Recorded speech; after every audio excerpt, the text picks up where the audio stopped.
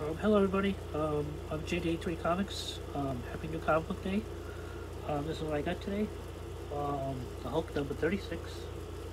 I highly recommend every one of these. Um, Empyre number 5, I love this series. Um, my favorite one in here is uh, Emperor Hulkling, he's good. Um, Amazing Spider-Man, issue 46, great series. Item number 27. Again, I highly recommend all these. Um, the Flash number 759. Detective Comics number 1025.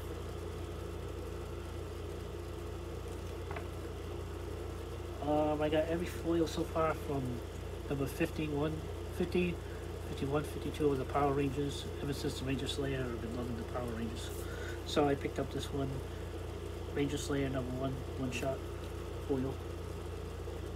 I have my cover week. and then um, I read a single issue of this one, so I picked this one up too. Um, Trees, Volume 1, trade paperback.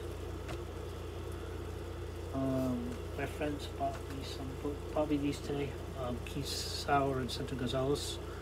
Um, they helped me buy my books today. I would greatly appreciate it. My good friends.